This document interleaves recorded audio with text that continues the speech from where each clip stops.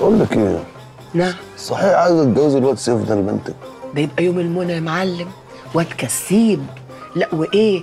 إيده فرطة. اللي في إيده مش بتاعه. والبت الحمارة دي عمال أقول لها كوشي يا بت على اللي معاه. شيليهم ما تخلوش يدي لحد. مش عارفة تعمل حاجة. والواد حق الله صريف على حق.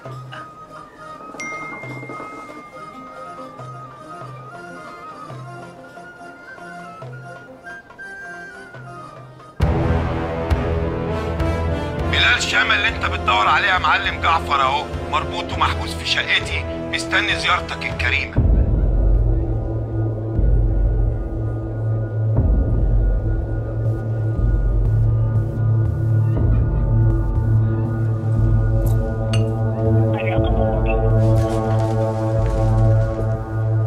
سلام سلام يا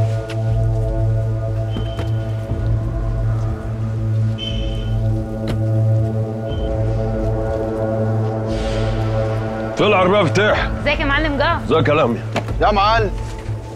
معلم جعفر.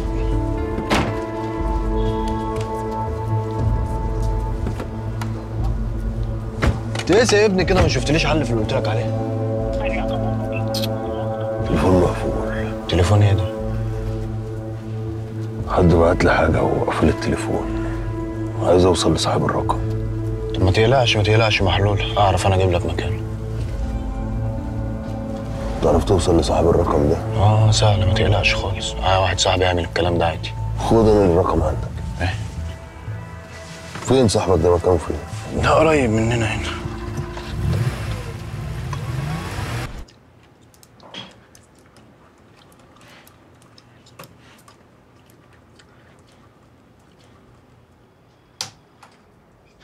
سهرناش يا رامي ها؟ معلم جعفر ده صاحبي. بص يا سيف أنا بعت له link على الموبايل بس هو لسه ما فتحش. اول لما هيفتح الموبايل ال link هيشتغل لوحده وهنعرف مكانه بالسنتي ما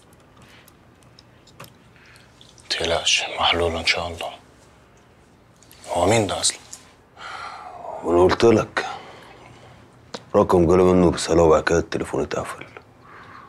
صاحب الرقم ده أمانة عنده. إيه هي بقى يا معلم الأمانة دي؟ اسكت حبيبي اسكت.